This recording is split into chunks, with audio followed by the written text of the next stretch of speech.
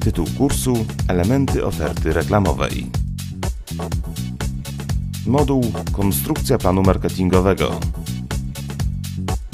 Temat Kwestionariusz Treść pytań.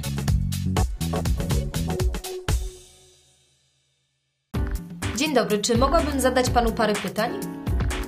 Dzień dobry, oczywiście, słucham. Co to jest kwestionariusz? Kwestionariusz to podstawowe narzędzie badawcze stosowane w badaniach socjologicznych. Służy do zbierania informacji.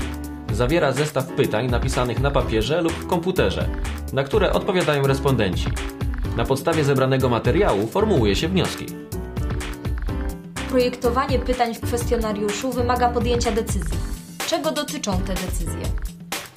Decyzje te dotyczą treści pytań, formułowania pytań, kolejności pytań, instrukcji kwestionariuszowych. W takim razie zajmijmy się treścią pytań. Co nam możesz powiedzieć na temat treści pytań w kwestionariuszu? Oczywiście ważna jest niezbędność pytań. A co to znaczy? Każde pytanie ma ściśle określone znaczenie. Dostarcza informacje na temat jednego wąskiego zagadnienia. Jeżeli nie jesteśmy pewni, czy dane otrzymane z odpowiedzi posłużą nam do czegoś, należy odrzucić to pytanie. A czy respondent udziela zawsze prawdziwych odpowiedzi? Respondent może nie znać odpowiedzi na pytanie, nie chcąc przyznać się do niewiedzy na określony temat, da jakąkolwiek odpowiedź, co zniekształci wyniki badań. Należy unikać pytań sugerujących, że respondent powinien znać odpowiedź na dane pytanie. Pytania powinny dotyczyć faktów, które respondenci mogą sobie łatwo przypomnieć. Jeżeli respondent nie będzie pamiętał określonych faktów, nie udzieli on odpowiedzi lub będzie się starał odgadnąć, jaka odpowiedź jest najwłaściwsza.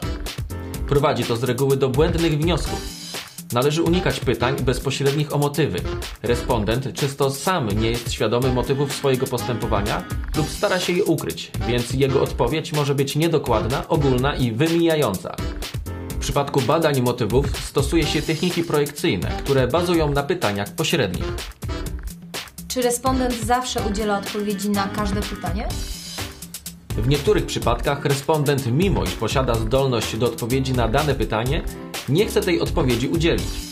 Najczęściej uczestnicy badania nie są skłonni do udzielania odpowiedzi na pytania o dane personalne, pytania kłopotliwe i drażliwe, pytania dotyczące prestiżu lub pewnych norm zachowania się. Dziękuję bardzo za udzielenie wywiadu. Ja również dziękuję.